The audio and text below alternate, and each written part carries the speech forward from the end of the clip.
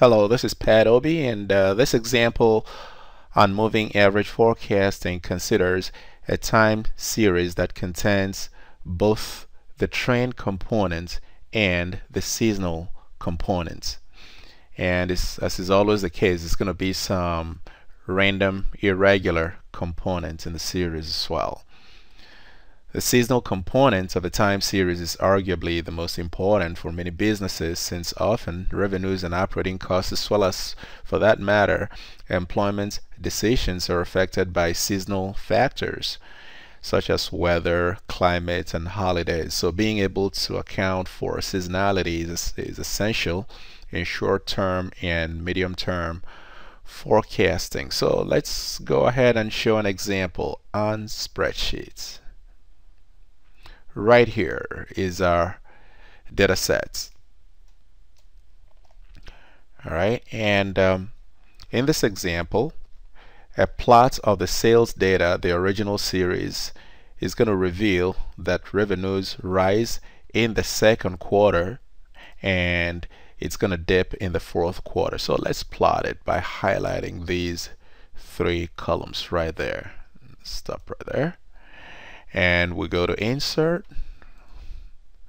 And the first one is just fine. Uh, you can see it right here. All right. Uh, the plot also reveals an upward trend as you can see over the entire period. And so as you can see in addition to seasonality which is uh, clearly shown here there's also a trend component in the time series. And as a side note, the term uh, time series is singular as it refers to a variable whose values are observed sequentially over time.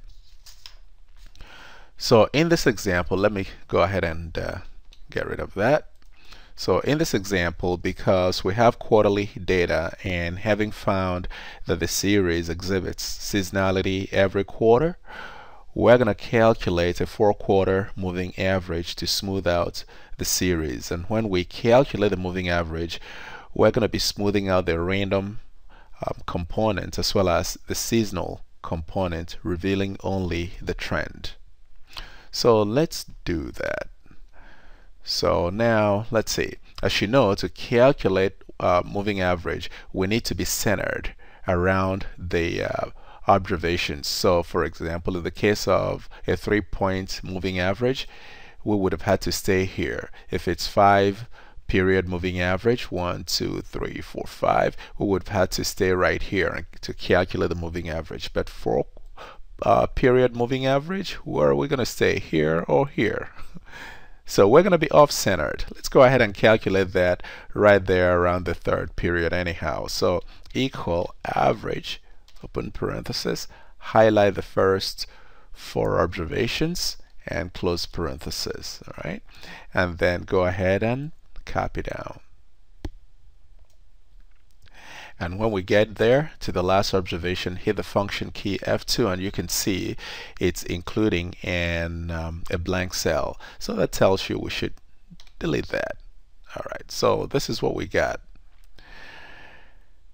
Now though, because the four point moving average is off-centered, we're going to have to calculate the modified, or if you like, the centered moving average in order to align the moving average with a defined row. Because actually what you have here, like um, for example, this first moving average of 2366, in actuality, um, hang on, I'm trying to get rid of this that annoyance right there. So this observation right here is actually centered between 2595 and 2454 so it's there off centered in between the second and the third quarters Likewise, this guy right here is off-centered.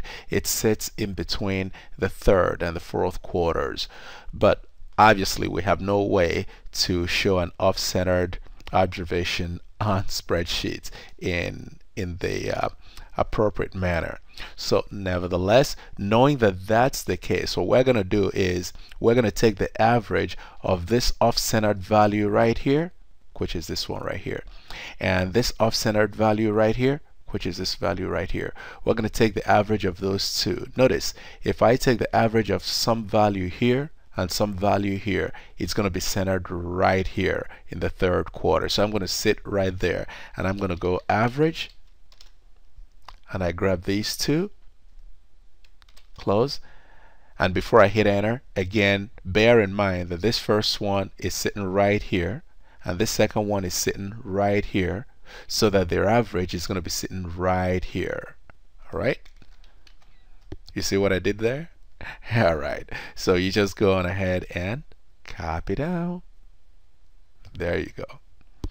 And this last one here, F2, blank cells. So delete. This one right here, F2 it, blank cell right here, delete. There you go. Now we have our centered moving average. So let's go ahead and plot our moving average. And I'm going to go ahead and highlight these. Stop right there. Insert, plot, first one right there. And we don't really want the uh, MA4 column to plot because we don't really need that. So you can right click on the graph, go to select data, and click on this MA4 and remove it. And OK and go back up here. That's what you get. Right? As you can see, the smoothed series, which is the green line right here, see, centered moving average right there, all right, has removed both the seasonal components, which are the um, the peaks and the troughs, as well as the irregular um, the irregular components, which are the uh, tiny movements along the ways, revealing just the trend, the green line, which as you can see is upwardly sloped. To perform a forecast, however, it's important to account for seasonality since clearly we have it in the series. All right, and so we're going to show that in the next video.